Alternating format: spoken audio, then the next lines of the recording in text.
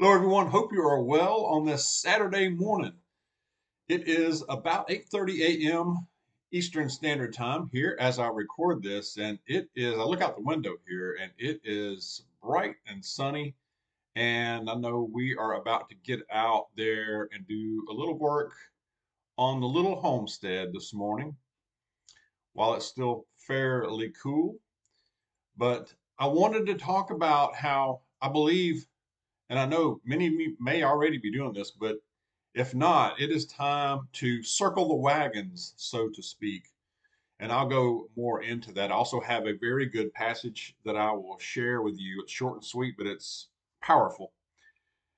Uh, but first, real quick tip, and I've mentioned this before, but rain barrels, don't underestimate rain barrels. We have two two large ones set up here and I don't think I've shown them. I'm going to have to do a video on that, just show our setup. But we noticed earlier in the week, now we use the, the runoff, the rain catchment to water a good bit of our garden. And especially the herbs down here close to the house. And we noticed that here lately, because we hadn't had rain for a while, the barrels were getting low. I mean, they were almost empty and we had a rain overnight like two nights ago and i didn't i didn't think it rained that much. I mean it didn't it wasn't heavy or anything like that. It was no thunderstorm.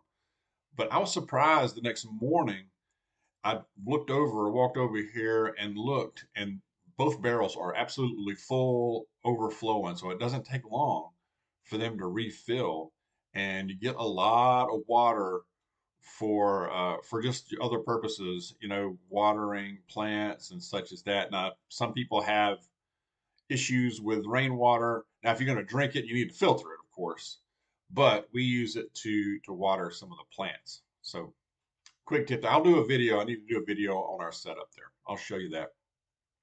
Circle the wagons. There is, so to speak, you know, uh, or literally, uh, there is a great heaviness in the air, and I'm not talking about just the smoke.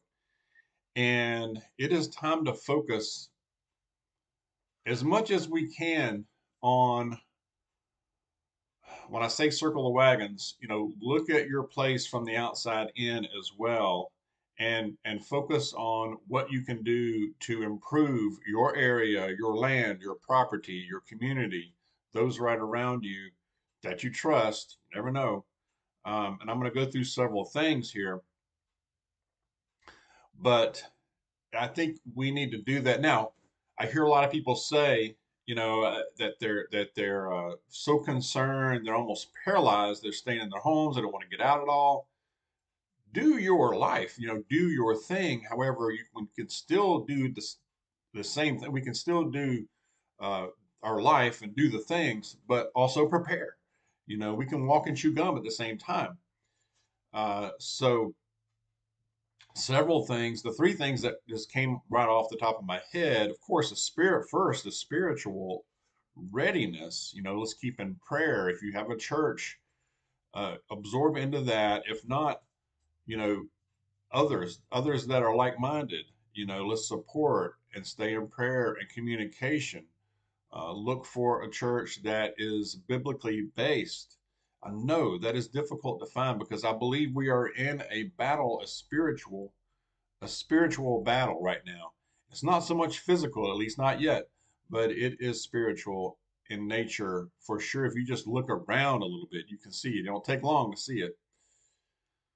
So I think that's number one. Number two is to keep keep stacking, and rotate. I know we keep talking about stacking and all that, and you're like, dog, I got plenty of food, I got plenty of this and that, but look at what you have. It may need to be rotated. You may have stuff that's expired or close to it. Move that up front to where you can go ahead and start using that, and uh, and then and then get new new stuff to replace it. So rotating is and looking at your inventory and being organized is super important. Number three, live healthy as possible. Um, I saw a video, and I can't even remember what the creator was. I should have saved it, but it was talking about how it was talking to doctors, oncologists, and funeral home directors, embalmers, uh, staff of funeral home homes, and it is alarming just in the last six months how many cancer, uh, uh, how much cancer they're seeing, and how many cases. The it's not just an uptick; it is a huge ramp up. They said it's overwhelming. Uh, the the number of cases of cancer they are seeing in the young people as well, all ages, but young people, 20s, 30s, 40s, and it is just you know you're not going to hear about it on the news or just in your in your local paper they're not going to talk about that uh, but it is you know it's an aggressive types of cancer that where this person person seem looks healthy and seemingly is healthy otherwise but gets something and then boom in weeks months they're gone. So it's like they it's so aggressive and comes on them so fast that treatment hardly has a chance you know? So they're saying this they're, they're seeing so many more cases than they ever have, and it's getting more and more. Now, we have some theories, of course, as to why that is. I won't go into any details there, you can imagine, but you know, it could be a number of things actually. But live as healthy as possible. Your food, your movement, your, you know, and I know here we we need to do more moving here as well. We we do a lot, but I think we do fair amount. But um, you know, the more you move, the better. You know, the more you're as much as you're able. And when you venture out, when you do when you do get out there in the community, you know, I think we and this is just my my feelings, and I've mentioned this before, but uh, going gray, I think it's important to go gray to a certain point at least, blend in, not call it not call attention to yourself. Keep a low profile uh, and keep it moving. Okay. Uh, don't put yourself in situations that are risky, that are that are uh, high risk. You know. Uh, at the same time, in our interactions, let's stay true to our faith, our convictions, our traditional values. Let's be the example. Be kind and courteous, but you know what I'm going to say? Take no dog squeeze, stand firm, be ready to defend yourself. Okay. We don't need to go on the offensive, but we need to be ready to be defensive if needed. Okay. I'm talking about avoiding conflict. When I'm driving now, I don't even, I don't know when I've blown my horn. I don't even blow my horn anymore. I don't care if somebody cuts me off you know, gives me the one finger salute. I don't care. I, I, I let it go. I wait. I, I don't even wave. I used to wave because they may mistake that for the one finger salute. I used to blare on the horn back at them. I don't do that. I'm giving them no. I I'm avoiding the crazy as much as possible. Okay. Now, if the crazy comes to you and you've done all you can to avoid it, de-escalate whatever and you and there's nothing left to do but to engage in self-defense at that point we need to be ready and i mean ready to defend ourselves with max force okay no hesitation leave no doubt now and i've heard from some of you that sometimes, uh, in many cases, all that takes is to show a willingness to defend yourself. Okay. In other words, let them know in no uncertain and no, in no uncertain terms that you are capable of defending yourself. Now, I've heard from some of you that all it took was simply showing a personal defense tool. That was enough. All right. Because most of these predators want an easy target. Okay. They see you as a possible easy target, but then they see quickly that, oh no, maybe not so much an easy target. They're going to move on. Okay. If that makes sense. I hope that makes sense. Share what you think about that too, because I'm probably leaving out stuff. All right develop and fortify your land, your home. I don't care if it's an apartment that you rent. Do what you can. If you need better locks on your doors, effort to do that. You know, uh, be a hard target. All right. You want to be the type of target to where that that predator is like, I just need to move on. I, I'm going to go to an easier one. Okay. Or I'm just going to going to come, you know, I'm going to go somewhere else. There was a time when shifting gears here a little bit. I know. There was a time when I had a measure, I had at least some measure of trust in our government and, and our institutions. And there was a time when I had a lot of trust, actually, when I was a younger man. And even even as I got older, I, I that that measure of trust has decreased. Now it is gone. It is zilch. It is zero, people. Zero. I don't care what institution you're talking about. If it's government institutions, I have zero trust in them. Okay. It is all gone at this point, especially over the last three years. It has slowly eroded. And now it is nada. It is nada. Zero. Corruption is on a scale that would make ancient Rome blush. Okay. I think that's where we are now. And that's where I, I talk about being gray and, and, and keep trying to keep a low profile as much as possible. Don't call attention to yourself. Um, you know, that's difficult, you know, but I believe we're in a dark time. I really, I, I really do. And, um, you know, we're in a time when those of faith and conservative values, morals, traditional values uh, are, are, going to become a target. We are, we've been actually, have been. Um, testing is coming.